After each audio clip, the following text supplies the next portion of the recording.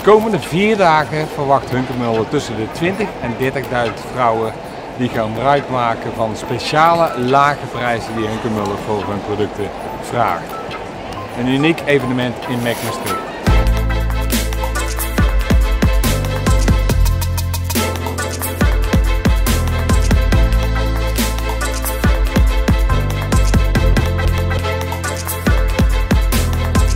Hebben het voor het MEC gekozen omdat het zo centraal ligt. We pakken de bezoekers uit België, Duitsland en Nederland.